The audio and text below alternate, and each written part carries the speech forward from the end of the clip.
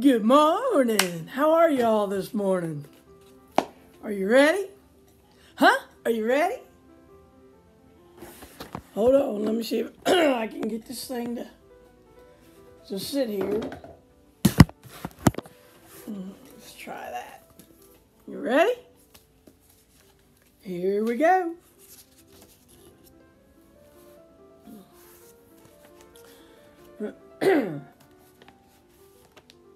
He led me through an alley behind his inn and into the stable where his tenants' animals were kept. It was dank and smelly and cold.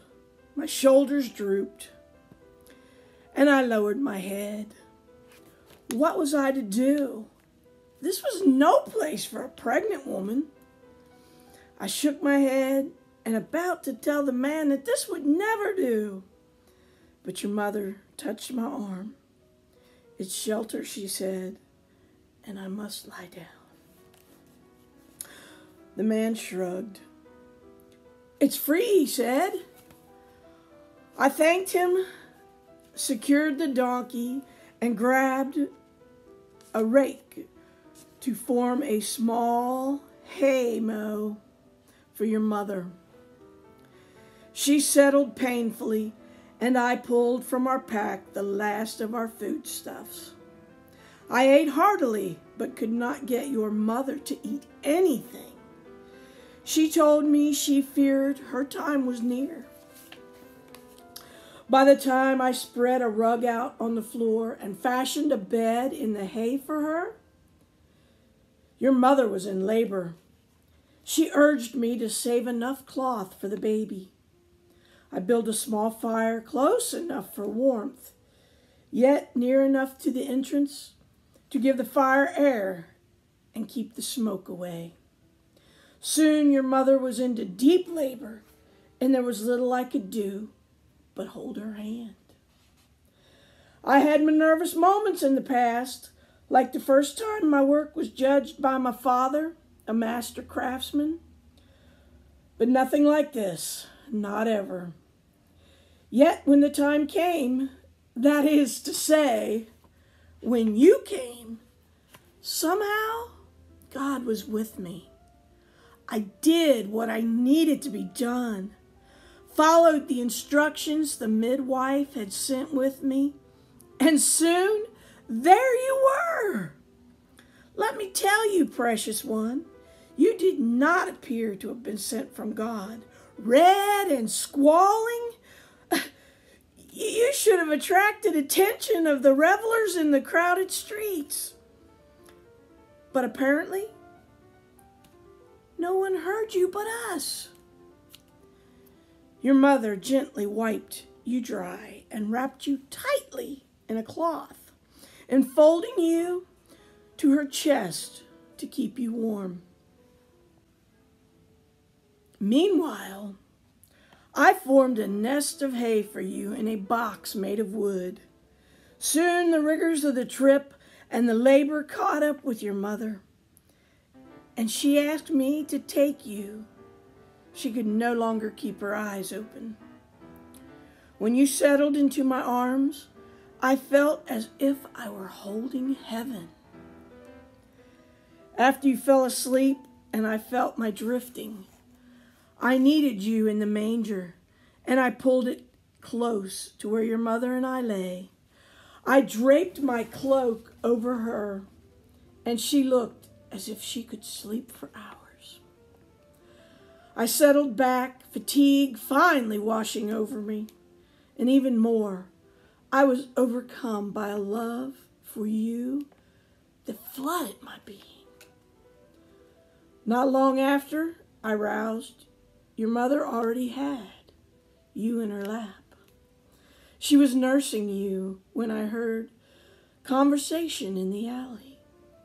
It would have been futile to ask passerby to keep quiet for your sake. I'd rather not have drawn attention to the truth that we had a newborn in a stable.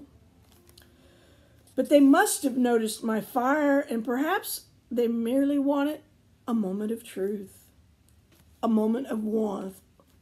Warmth! But no, they were looking for something, for someone.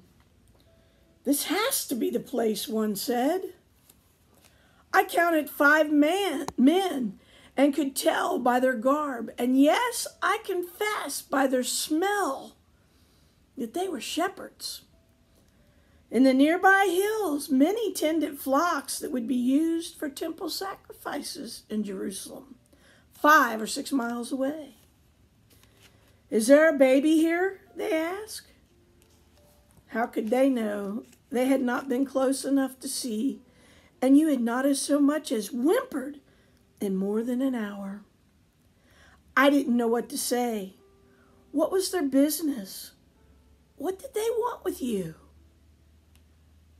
A baby, I said, determined to protect you. Why do you ask?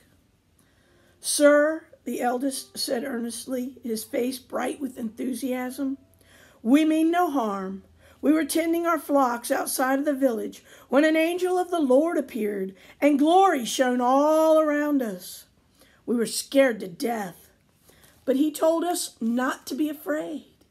He said he brought us good news of great joy. The Savior, yes, the Messiah, the Lord has been born tonight in Bethlehem. He said we would find the baby in a manger, wrapped snugly in strips of cloth. What could I do? I stepped aside and motioned for them to come in.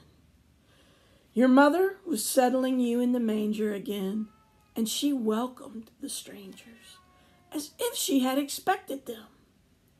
They knelt before you, thanking God. One told their story to her. Suddenly, the whole sky was full of angels singing glory to God in the highest heaven and peace on earth all whom God favors.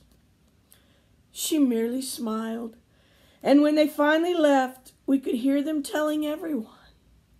People began finding their way into the alley and past the stable, saying, Is it true? Is it true? Is that the Messiah? I'm going to cut her off there today, and we'll be back tomorrow. Happy Monday, y'all.